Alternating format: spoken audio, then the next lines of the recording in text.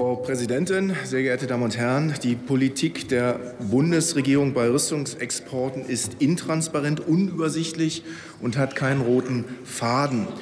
Es sollte ein Leitfaden sein, nur stabile, verlässliche Länder zu liefern und weniger verlässliche Länder nicht zu beliefern.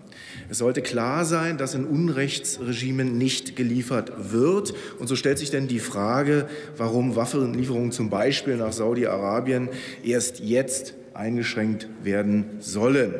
Schon vor Jahren hat das Land gezeigt, dass es die Menschenrechte nicht achtet. Es ist richtig, dass man in Diktaturen keine Waffen liefern soll. Wo bleibt aber jetzt der Maßstab, mit dem die Bundesregierung nun misst? Gibt es nach Ansicht der Bundesregierungen schlechte Diktaturen und daneben vielleicht auch gute Diktaturen? Ähm, was ist mit dem gemeinsamen Standpunkt der Europäischen Union für Rüstungsexporte? Dort gibt es unter anderem das Kriterium der Menschenrechte oder die Aufrechterhaltung von Frieden, Sicherheit und Stabilität in einer Region. Das wird nicht immer eingehalten und Deutschland liefert Trotzdem, wann wird dort ein Schlussstrich gezogen, meine Damen und Herren?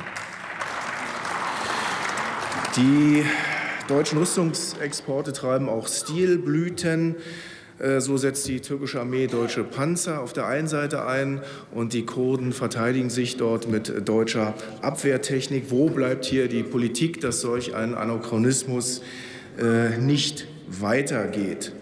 Auch die Haltung zum Terrorismus ist in vielen Ländern im arabischen Raum ungeklärt. Vom, von Katar zum Beispiel wird gesagt, dass es islamische Terroristen unterstützen würde. Warum liefern wir eigentlich dorthin?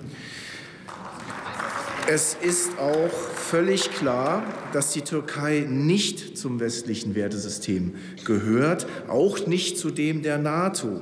Warum verkaufen wir der Türkei dann also Waffen? Die Türkei gleitet Schritt für Schritt langsam in eine Diktatur ab. Sie führt Krieg gegen die Kurden, auch völkerrechtswidrig auf syrischem Boden. Die Türkei verhält sich entgegen einer Aussage von Herrn Altmaier eben nicht europäischer als mancher EU-Mitgliedstaat. Herr Erdogan fordert seine Landsleute auf, sich bei uns nicht zu integrieren. Das ist versuchte Landnahme. Und da liefern wir noch Waffen in die Türkei. Das widerspricht eindeutig deutschen Interessen.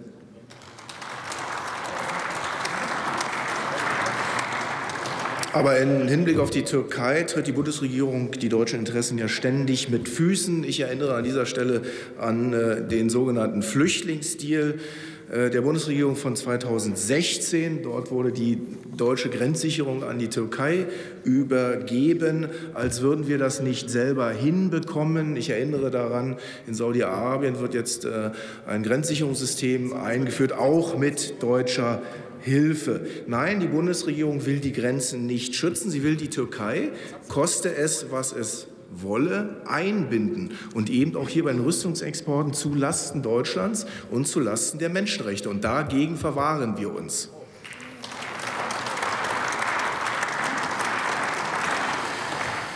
Die vergangene, die kommissarische und vermutlich auch die kommende Bundesregierung hat keinen außenpolitischen Kompass. Sanktionen gegen Russland auf der einen Seite, aber Waffenlieferung in Krisengebiete auf der anderen Seite. Das Gegenteil wäre richtig, eine Sicherheitspartnerschaft mit Russland und keine Unterstützung zweifelhafter Staaten. Hier fordern wir Konsequenz, hier fordern wir ein Umdenken in der Politik. Vielen Dank.